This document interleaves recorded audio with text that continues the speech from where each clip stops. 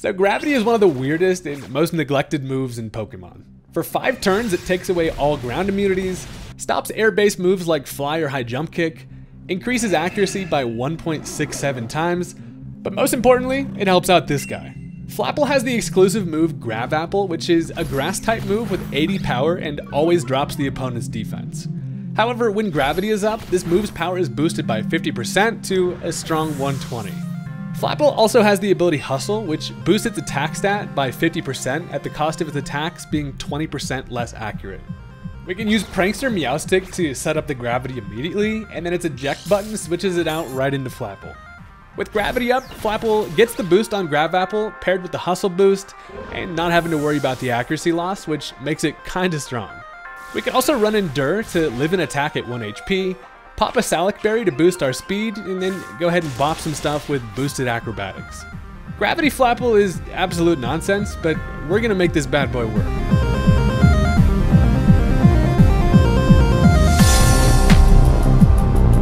So you know what they say, an apple a day keeps uh, keeps the overused nonsense away. I don't know. No one's ever said it, but today that is what we are talking about. Flapple does not get enough love, and neither does Gravity, because it's nonsense. But that's what I'm all about. Now, if you're into that kind of thing, go ahead and hit that subscribe button. I'm on my way to 400k, and I'd love to have you as part of the journey.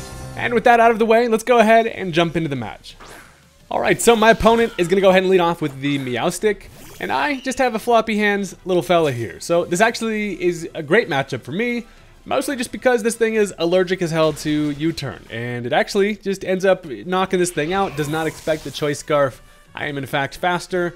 And I just pull a little skirt and that takes care of it. And also now I get myself a little switch into whatever I want. Now killing something with U-turn, at least they can see what I switch into and then decide a matchup. But I'm like, you know what? It's time. There's never a better time. I'm just going to go into the Meowstic right now and see if we can get some Apple shenanigans going. So they decide to bring in the Lurantis, but he's got the striped pants on, ready for the damn disco. And I am going to make the gravity all crazy in here. It shrinks us down into pancakes, and the gravity is going to intensify. So they actually end up going for the Pollen Puff here, which is fine. I was really just hoping mostly that they attack me, because that then activates the eject button. I'm going to go ahead and switch on out of here, which now allows me to try to take advantage of gravity turns for as long as possible. So, I'm going to go right into young Johnny Appleseed. The Flapple comes in looking absolutely menacing, fighting for my life to stay in the air with these little apple wings.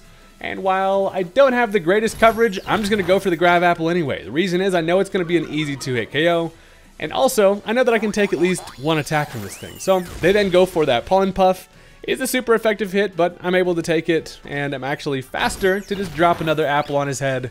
And that is going to take care of the bug. And the Deadly Apple is just already making stuff work, even through not very effective hits. So now they can decide to switch into whatever they like, and in comes the Gardevoir. This thing is going to trace my hustle, which honestly just doesn't benefit it at all. And we do actually have two turns of the gravity left. So here's the plan. I know this thing is going to be faster and will be able to knock me out with a fairy hit. I'm going to go for the Endure and be like just going to hang on for dear life over here.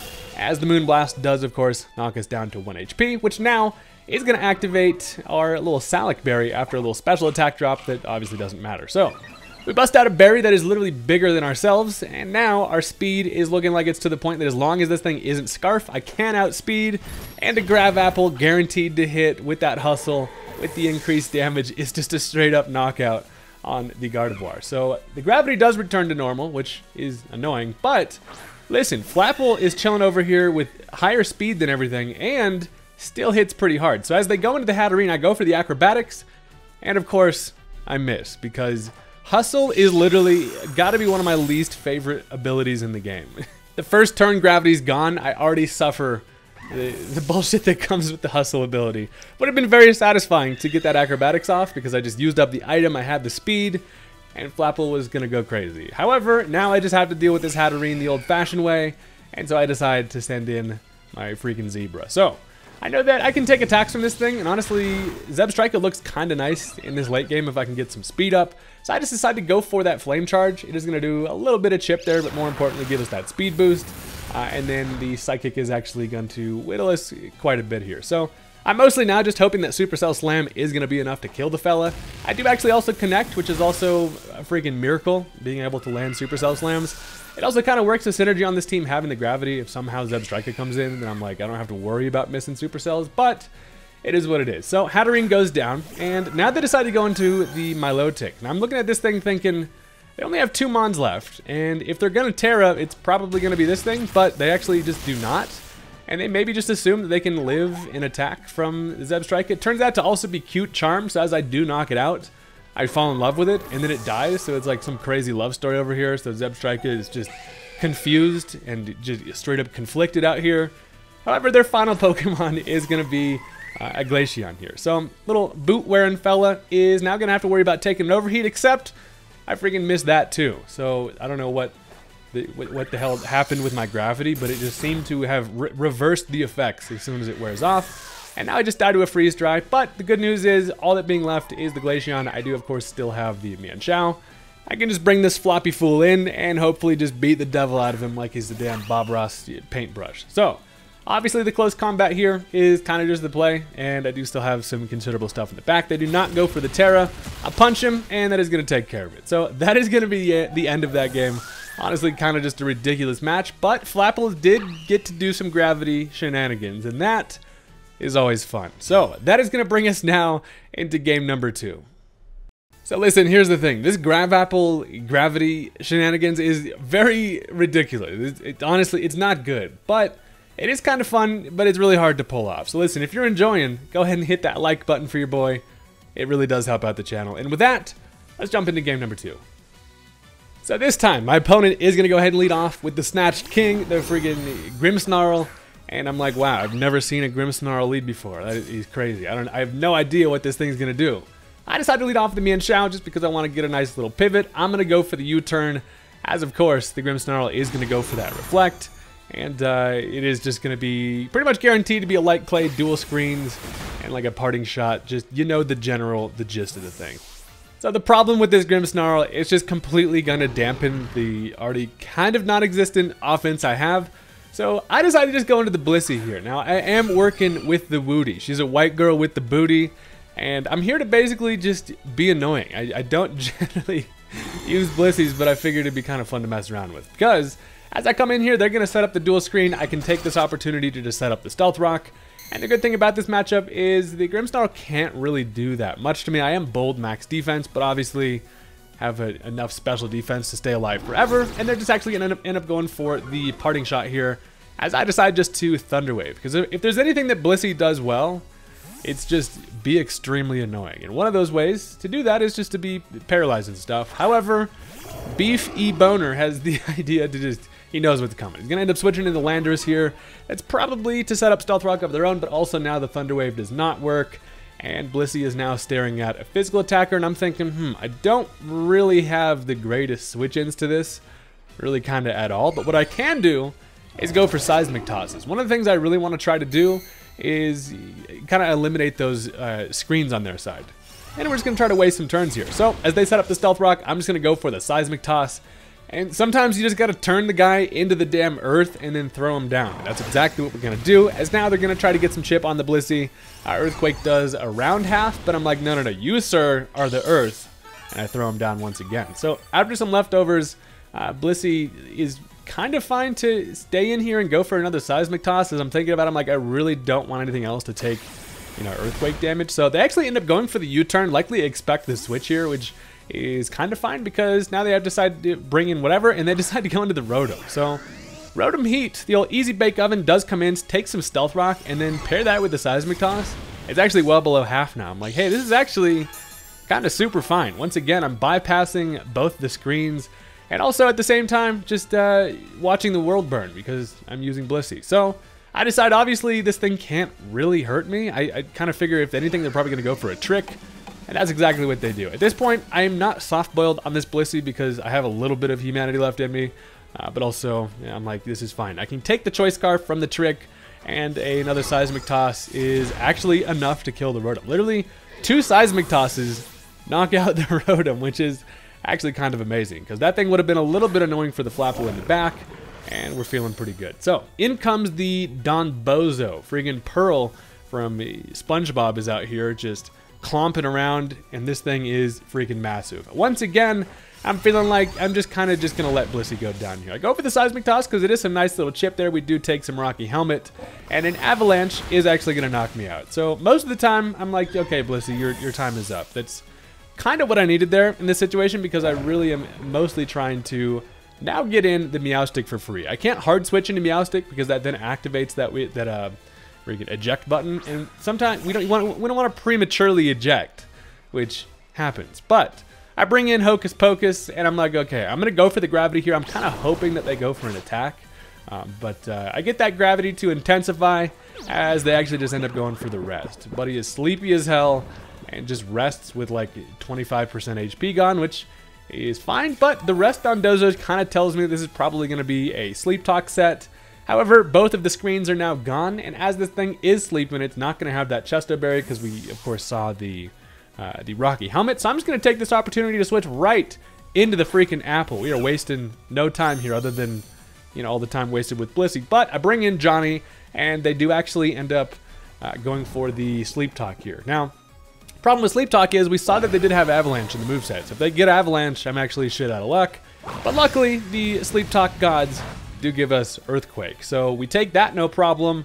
And guess what time it is? It is apple dropping time. Boys, imagine just being sleeping and then all of a sudden a massive apple with intense gravity lands on your head and now you're dead. Buddy just died in his sleep and Dondozo getting knocked out by an apple is actually pretty damn sweet. So that is really fun. As now they decide to go back into the Grimmsnarl, and I'm thinking, damn it, the uh, screens have reset. I can still at least just go for a Grav Apple here and have some fun.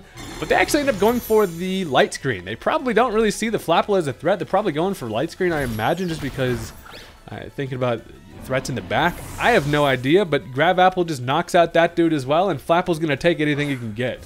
That is for damn sure. So, Landorus can come in. It does take some Stealth Rock, but also has that Intimidate, which, you know, is annoying. But Flapple is not afraid here. I can now, obviously knowing that they're most likely going to be able to have something to knock me out, I'm going to go for the Endure here, and I need to be able to outspeed this to try to at least get some chip here. So, uh, they actually end up going for the Outrage, which is going to be a super effective hit, which is kind of nice because it knocks us down to one.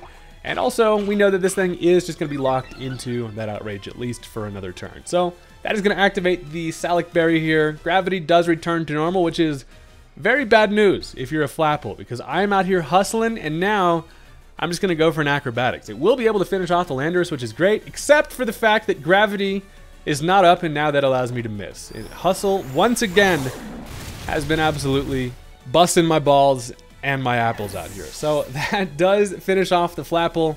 But we got some nice little, some, some Apple stuff going, and all the doctors are afraid they're going to have to stay away. So, uh, Landorus is kind of a sitting duck here at this point to bring in whatever I like, and I'm thinking, you know what, I'm going to go into uh, the boy Zapadash. I've actually been having a lot of fun with the uh, with the Zebstrika lately, and even though they have the light screen up, looking at this matchup, I'm thinking I probably should just go for an overheat to kill.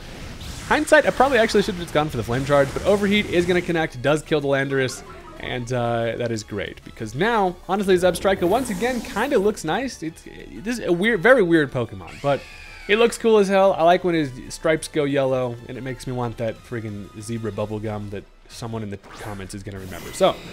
Now they're to end up going into the Blaziken. Young Ken from the Barbie movie comes in. They have two Pokemon left. It's to be the Blaziken along with the Metagross in the back. So problem with Blaziken is that the Protect is to now give it a speed boost as of course my high horsepower is not going to work out here. I swear nobody expects the high horsepower coming from the zebra. Maybe because he's not a horse, but he's got some horsepower out here. So that now gives it the speed boost sitting at plus one speed. I do figure the Mienshao in the back is kind of a win condition at this point, but I go for another high horsepower and I actually outspeed. So Jolly Zeb Zebstrika outspeeds a Blaziken with plus one as long as it has less than 180 EVs in speed, which sometimes people don't run max speed on the thing, especially if it's adamant. So Honestly, kind of surprising to outspeed there, but down goes the Blaziken, and now Final Mon is going to be the Metagross. So, Metagross, looking like a damn Xbox, does come in, and I obviously have the coverage with uh, both Flame Charge and High Horsepower. My special attack is fucked at this point, so I just go right for that High Horsepower.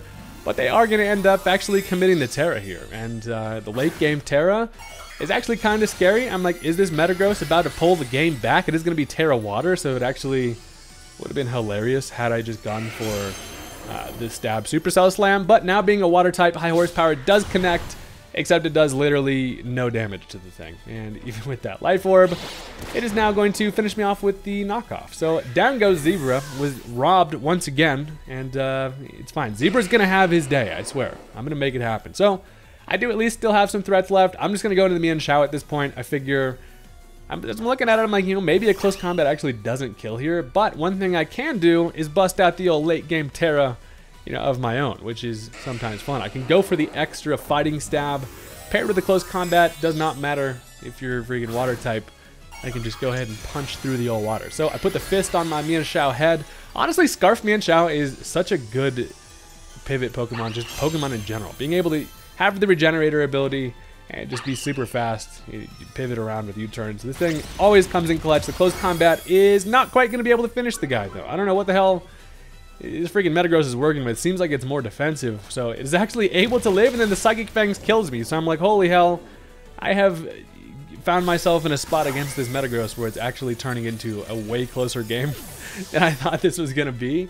Uh, so Psychic Fangs kills me. The light screen does wear off on their end. And the good thing is I do at least have one guy left that is, has a hard time dying. And that is going to be the boy Probopass. Ned Flanders comes in, mustache looking extra bushy and gold. I mean, the mustache is not. We are gold. However, I know that I should be able to uh, hopefully kill the fella with a body press. And uh, it does actually outspeed Hammer Arm for the coverage.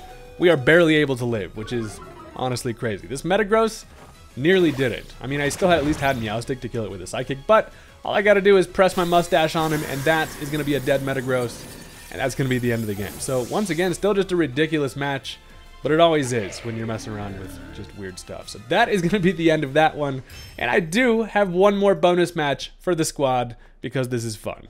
So this time we're going up against quite the scary looking team. We've got some kind of just weird threats over there, and in general, so do I. So you already know this is going to turn out to be a good one.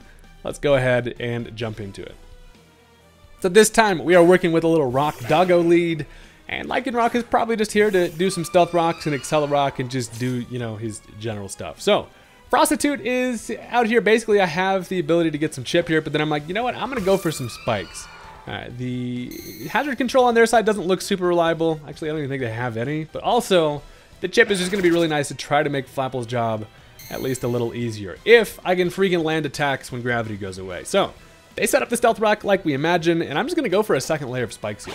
I found the weakness in their squad in that they don't have really any way to get rid of them, so we're just to make sure all these Legos are to absolutely ruin all the bare feet that come in and step on them. So, second layer of spikes up, and as the Accelerock comes in, I obviously cannot take another one, but what I can do is bring in the Mienshao, who obviously does not care about the rock attacks, and then puts a lot of pressure on the Lycanroc. Now, they do end up uh, going for an Accelerock here, which is fine. I take it no problem.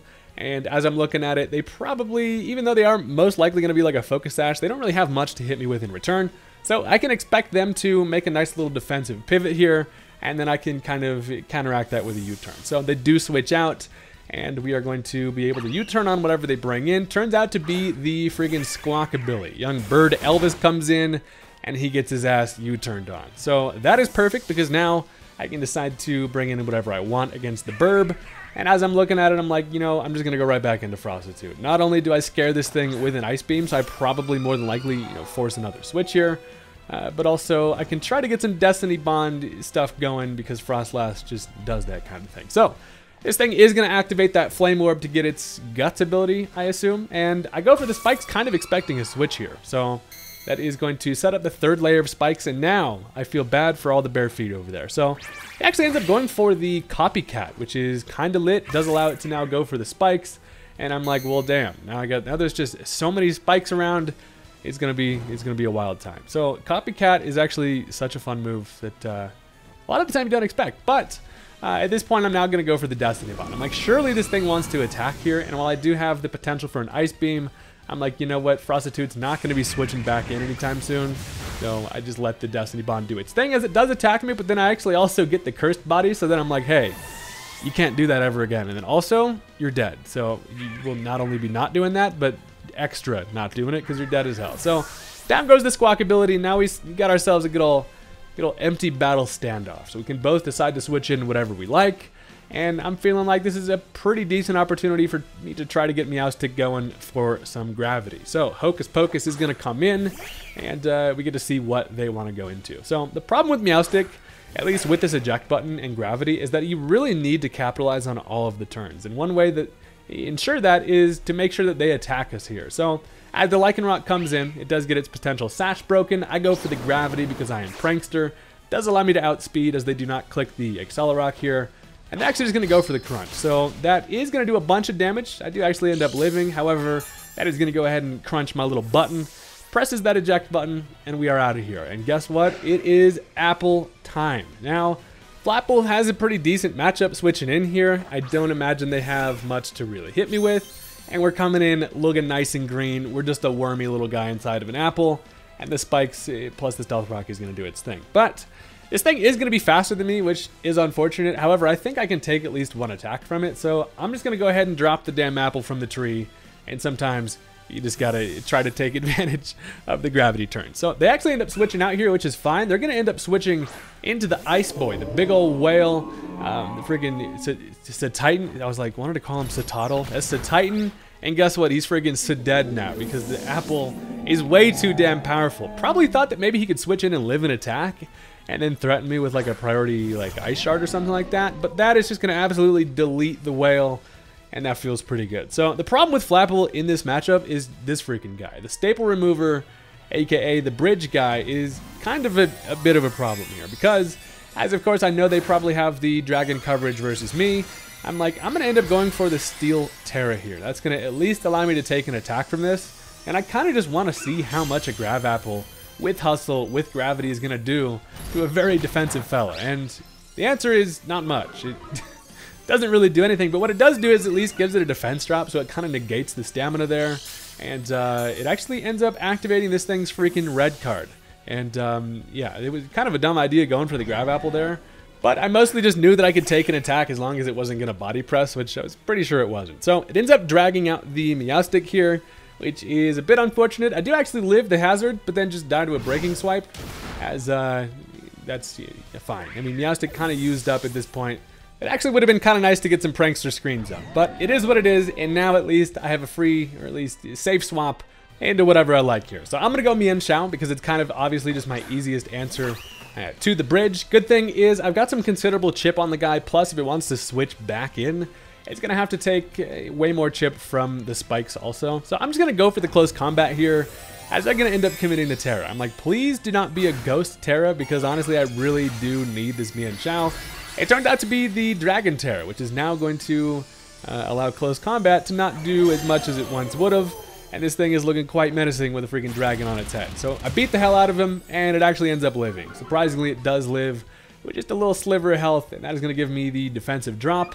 And also give this thing just a little bit more, you know, some stamina. So now another breaking swipe is looking like it's not good for our floppy friend over here. That does actually knock us down to 1 HP, which is kind of crazy. I truly did not expect. I lived it with literally 1, which is always just like, freaking, he, he powered through due to the power of friendship or whatever the hell they say in the games. So one more close combat is going to finish off uh, the bridge, and that is actually pretty damn good. Now, at least I am kind of stuck in here with the Mienshao because obviously I can't come back in on the Stealth Rock, but the bridge going down along with the Tera is always pretty damn solid. So we're able to uh, finish that thing off. The gravity does return to normal, which does suck for our Flapple in the back there, but maybe we could get the Flapple to still do some stuff even without the gravity, which is gonna be a damn task, but I am quite determined. So in comes the Lycanroc, and at this point, obviously, it's going to be able to uh, Accelerock and knock me out. But then as I'm looking at it, I'm like, hold on a second, I can actually swap out here, mostly just because of the fact that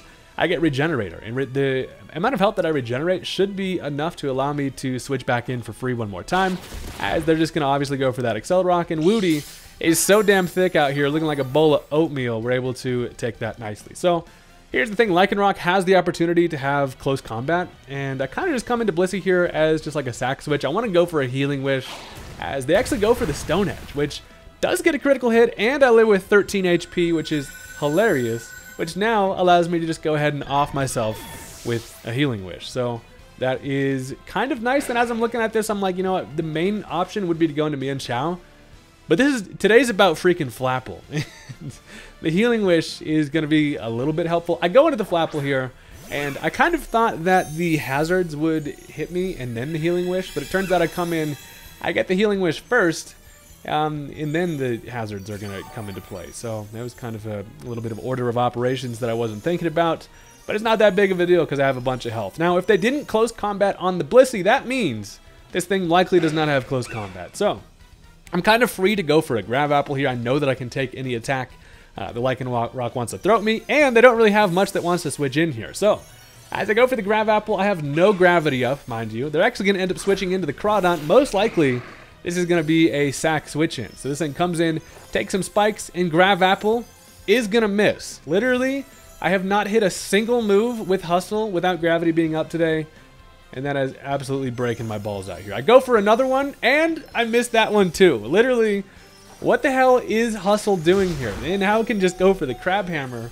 And actually, I ended up barely living, which now is going to activate my Salac Berry. But as I'm looking at this, I'm like, well, it surely is just going to now Aqua Jet. It doesn't look like that was banded damage, but, uh, or no, we saw the Life Orb, right? I can go for a Grav Apple. They actually do not Aqua Jet, maybe Buddy's not working with the priority there or something, but Grav Apple finally connects and kills the guy, and I'm like, Jesus.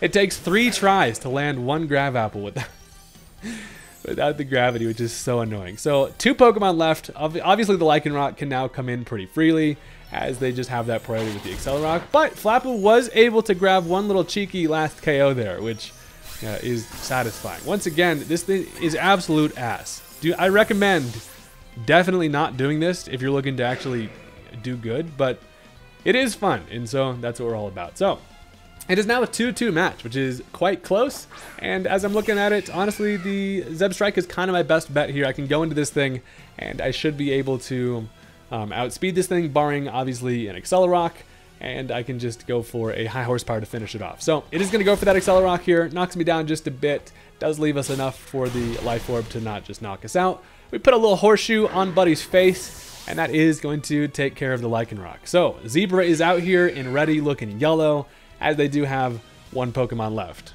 So their final Pokemon is actually going to be the uh, the Scovillain, which is not quite as threatening as long as it's not on a Sun team. And Buddy comes out here. I know that I can outspeed here, and I kind of just my best bet is to just go for a high horsepower Overheat is there just to kind of stir things up against more physically defensive mons, but I go for the high horsepower just to guarantee that at least I can get some chip, but it actually just ends up knocking out the fella because Scovillain is a damn glorified middle stage evolution. So that is going to be the end of the game. And pretty much all the matches today were ridiculous, but also I was using an apple, so it is what it is. Thank you guys very much for watching. I do appreciate each and every one of you, and I'll catch you next time. Peace out.